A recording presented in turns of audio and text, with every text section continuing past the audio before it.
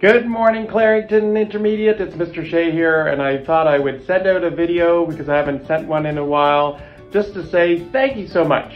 Uh, I've been enjoying being here at Clarington Intermediate, and it's because of you and your students.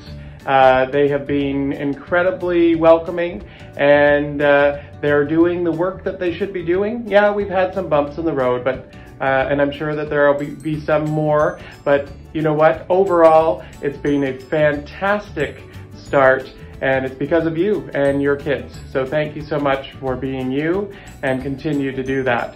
Uh, I want to also mention that one of my uh, mottos or my actual uh, philosophy is uh, deriven from a South African word called Ubuntu and it means I am because we are. And so I've been talking about that uh, with our students on the announcements every day, and so I'm going to be sending some more information your way so that you can learn what Ubuntu is uh, and how it uh, helps us as a community.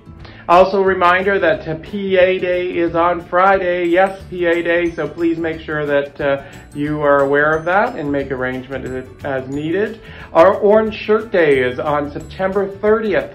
So yes, we will be doing truth and reconciliation work here at the school, continuing that, we always do. Uh, but Orange Shirt Day, so please wear orange. Uh, and remember, it's not uh, wearing Halloween shirts, it's about uh, being respectful and about truth and re reconciliation. So wearing orange, uh, Every Child Matters shirts is a fantastic way of showing support and recognition for truth and reconciliation. Also, cross country is next, uh, it has been moved to October 1st. So uh, people that were supposed to go today, they'll be on October 1st. And Terry Fox, uh, our Terry Fox Day is on October 8th and the rain date is on October 9th. So uh, there's lots of things happening here and uh, I just want again to say thank you so much for being a great community and I'm looking forward to continuing our learning as we go. Until then, uh, until I see you again, I should say, have an absolutely terrific, amazing day.